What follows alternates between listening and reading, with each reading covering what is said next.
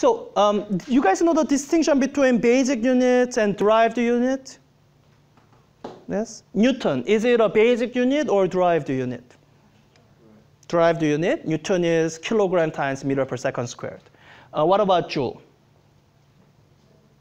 Derived unit, it's uh, you know meter times Newton. Um, so having defined the kilogram, meter, and seconds, there are many other units you have seen that we can derive. You can derive Pascal, Newton per meter squared. But um, in the S, so it doesn't have to be this way, but we made this choice in SI unit system. There's one more unit that you have to define um, as a basic unit. Matthew? What, uh, what unit do we have to define as a basic unit? Because you cannot derive it from kilogram meters or seconds. I thought you were saying something. I, oh, okay. Never mind. So, yeah, coulomb. So that's the unit of electric charge you have seen in this class. So, um, so you know, once again, this is sort of a science trivia. so um, it's a, um, so let me write down a definition of Coulomb. Because there's no way, uh, there's no way to derive Coulomb from other basic units. But um, as I keep saying this uh, several times, um, to define every, all the physical quantities, you actually only need three basic units. Coulomb is kind of, um, uh, it's not fundamentally necessary. But in the SI unit system, we made a choice to make this its own unit. So what we actually can do is um, we can come up with a physical situation and use the physical situation to define Coulomb. So now, um, so what that means is it's going to be based on measurement of force. So, um, so hypothetically, we could do it this way.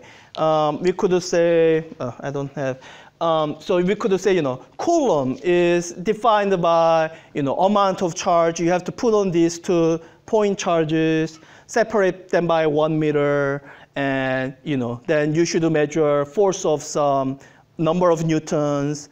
That amount of charge is a coulomb.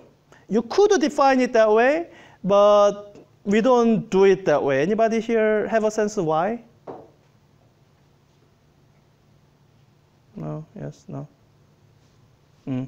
Um, I guess, yeah, yeah, this is one of those things that until you have done a bunch of experiments, you, it's hard to get a feel. Uh, it comes down to, it's uh, difficult to um, see how many charges I'm putting on a uh, object in a way that's independent of uh, the force it's exerting. It kind of becomes a circular. So, um, so, you know, you guys did the Van de Graaff generator lab, right? And the way you figured out how many coulombs were here was, or you know, on the pith ball, was you measure the force, essentially. So, um, so it's independent to, in an experiment, it's, a, um, so you, you know, when you're defining this unit, you have to try to think of a way, what is most feasible way of doing this. Not simply what can you imagine up in your head. So, um, so in an, um, in an experiment involving electricity, it turns out what you can measure fairly easily is voltage. It's uh, what you see on this uh, power supply. It measures voltage and it measures uh, current. Those are the two things that can be measured precisely and be you know, established fairly well. So this is the way ampere is defined. So the way ampere is sorry, I skipped a step. this is the way Coulomb is defined. In the, in the SI unit system, they don't actually try to define Coulomb. The way they do it is they define Coulomb by, um, by defining ampere. How is ampere related to Coulomb?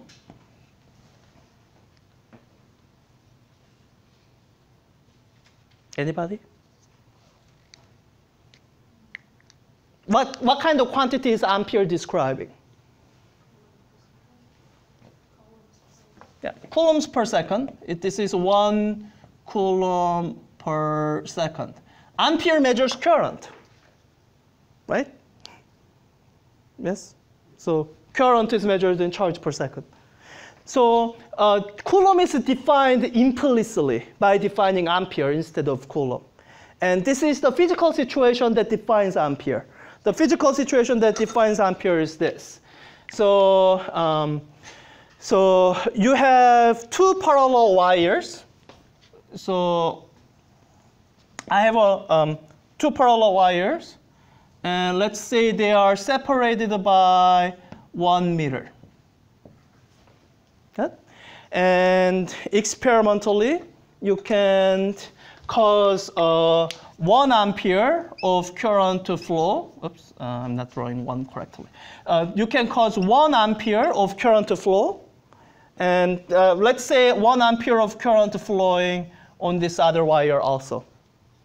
Then there's going to be a force between these two wires that are both carrying current. Why is there a force between two wires?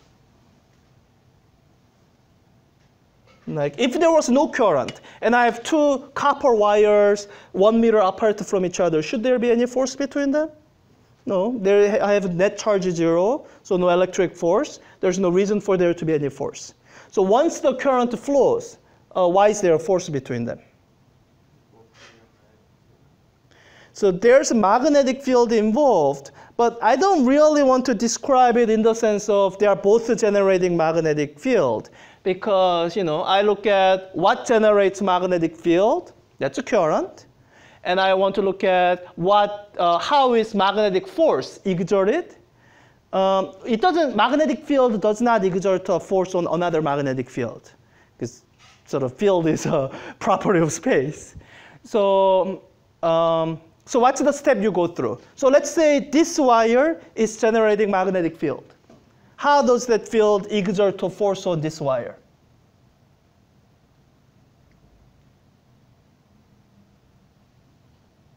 Is there an expression that we covered that actually we didn't write down there that describes the force uh, due to a magnetic? So you know, let, let's draw a magnetic field first. Let's go through step by step. Um, so I'm looking at this wire one as generating the magnetic field. So uh, what's the direction of magnetic field due to this wire? Sort of goes around this uh, wire, right? So if I draw it in a perspective view, it would look something like this.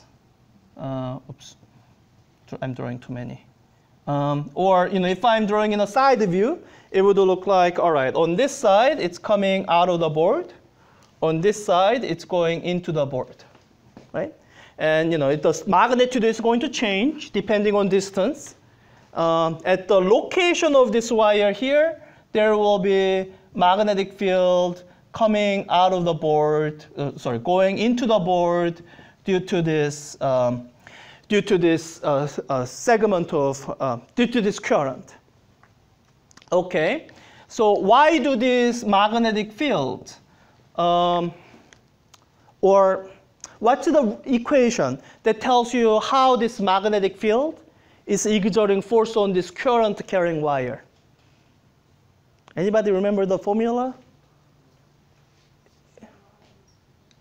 It's, uh, um, it's equivalent to this, but since I don't really have velocity or charge, um, it has to be rewritten in terms of quantities I do have access to here. Current and the length of the wire.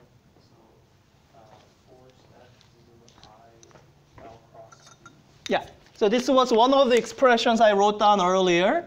Um, so for the so force, magnetic force on wire would be amount of current times L cross B. So the direction the wire's uh, current is flowing in, cross product with the B.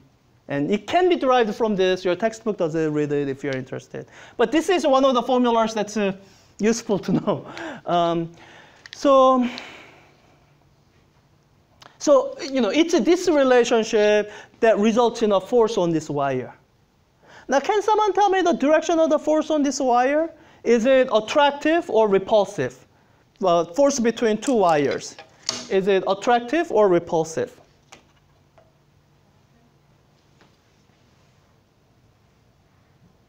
How many say attractive? How many say repulsive? Yeah. So this is where you have to be careful and go through the rules, right-hand rule. So I know the direction of magnetic field here. So into the board.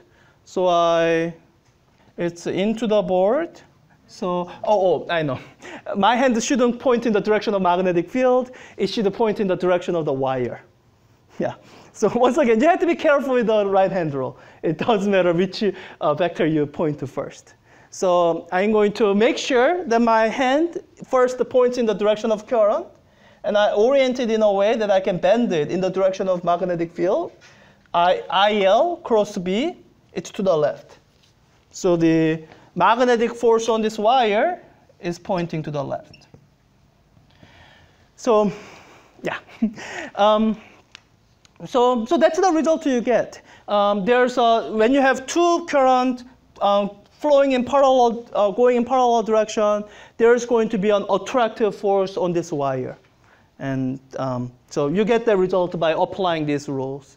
Uh, if you are remembering, you know, some of the rules that we are using earlier, you know, likes repel and opposites attract, don't use that with the magnetism. I mean, I know it works with magnetic poles and whatnot, but as I keep saying, magnetism is complicated. Always go through the rules that you have been told until you develop enough familiarity that you know what the answer is before you do calculations. Um, so, all right, so there's going to be an attractive force. Now, uh, what if I changed my description around? Here, I said wire 1 generates magnetic field, and wire 2 feels that force. Um, it, would uh, the, this answer here change if I switch it around? Say it's wire 2 that's generating the magnetic field, and it's wire 1 that's feeling the magnetic force. Would it change?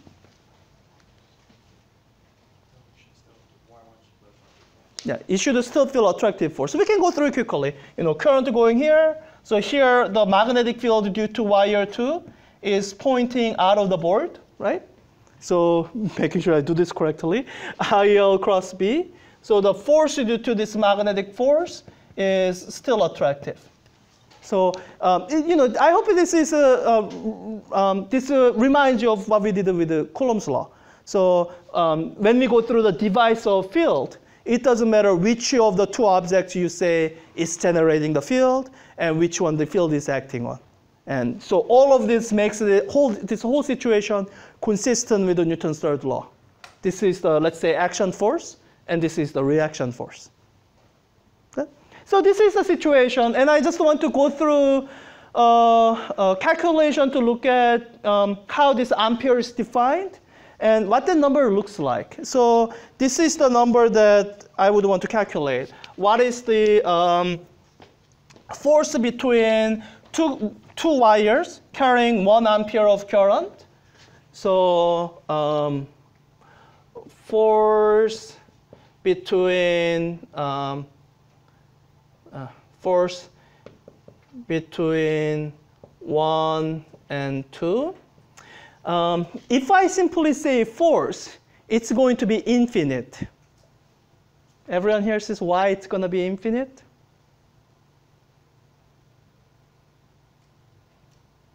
You look at this relationship here, IL cross B. Is anything here infinite?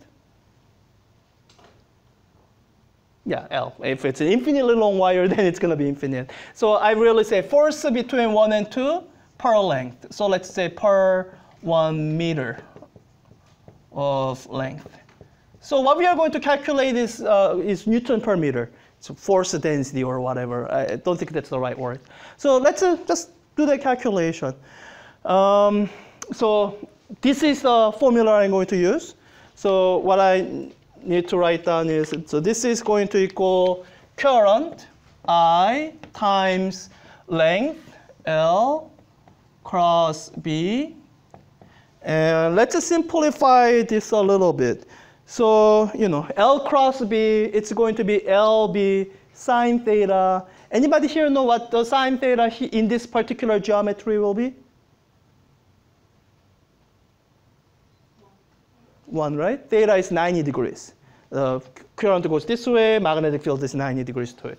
So, all right, so if we are looking at the magnitude, this is simply going to be current times the length times the magnetic field, which we derived over here.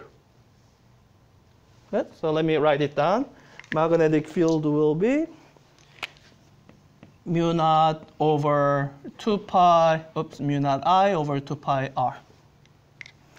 Uh, and for the per one meter of length, we are going to be dividing this by L. So it's the force per length that we are looking at. So L cancels out. I don't even have to plug in L, which is good. Um, so uh, let's just work out an expression and just plug in all the numbers and see how much force we are talking about. Um, all of this sort of sounds like it's a standard amount of quantity, right? One ampere, it's not an excessively large or small amount of current. One meter, it's this much distance. I guess it's maybe a little bit too far, uh, it's a, a, farther away than usual side, but it's, you know, it's a, a amount of quantity that you can imagine. So um, let's see how much force we are talking about when we are dealing with that situation. So I have I squared mu naught. Okay, so let me write mu naught over 2 pi times I squared over R. And uh, mu naught is actually one physical constant that I don't have to look up. I have it memorized. This is how I have it memorized. Mu naught is equal to 4 pi times 10 to minus 7 times some units that uh, we are going to figure it out later. um, so, so that's a mu naught. It's a, um, yeah, I, I, just have it memorized. Um, so um, let's uh, plug in the numbers and see. So, and, and then in the process, we'll also figure out what this unit should be. So the, uh, so the numbers here is mu naught, or 4 pi times 10 to minus 7 times some unit divided by 2 pi times current. We said it was 1 ampere. So 1 ampere squared divided by the distance. We said that, that was a meter, 1 meter. Oh, that seems like easy thing to work out. Um, so let me work it out and write it down. This is equal to, um, so 2 pi cancels a lot of this. So I end up with a 2. 2 times 10 to minus 7, 1 squared divided by 1. So it's um, um, so it's some unit of whatever this is times ampere squared per meter. Um, the units that we are looking at, what should this be equal to?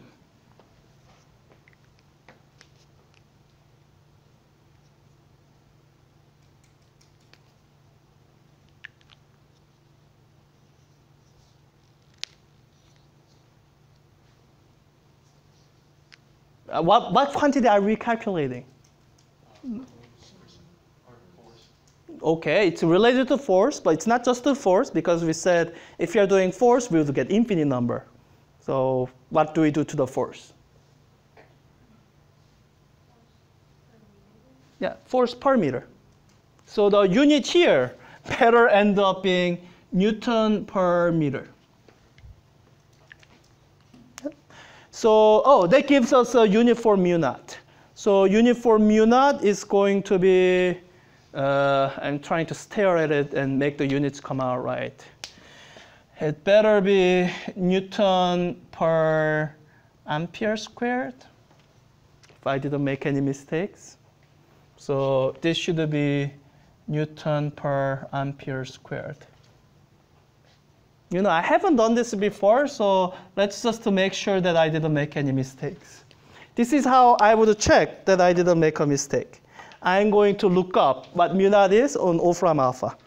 Because Wolfram alpha, it's unit aware. It knows uh, units of different things. So the mu naught has two different names. One name you can use, use to call it is magnetic constant. Let me use the old-fashioned term, permeability of free space. That's the old-fashioned term for mu naught. but a lot of people call it magnetic constant these days. So that's mu naught. Oh yeah, I was right. It's a Newton per ampere squared, and as I said, it's a, uh, when you work out this, it just should be 4 pi times 10 to minus whatever. Um, so all right, that's a mu naught. Um, so, so you know, in this, so this is how ampere is defined.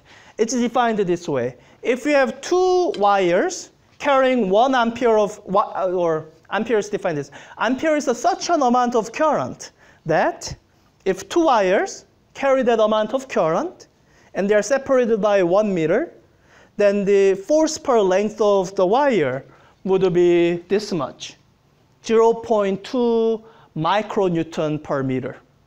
Does it sound like a lot of force? It's a very tiny force. So that's why, uh, why you have seen me, when I do the magnetism demos, I have to put out as much current as I can. This has a maximum of 3 ampere. That's what I put out. And, and even then, all you have seen is this wire just move a little bit. Um, so I think that's why a lot of people can have this impression that magnetism as a force is weaker than electric um, force. And to some degree, that's true because it takes a lot of current to uh, get some significant amount of force. But what I want to tell you is that the magnetism and electricity, they are related. So the intrinsic strength of both of them are actually comparable.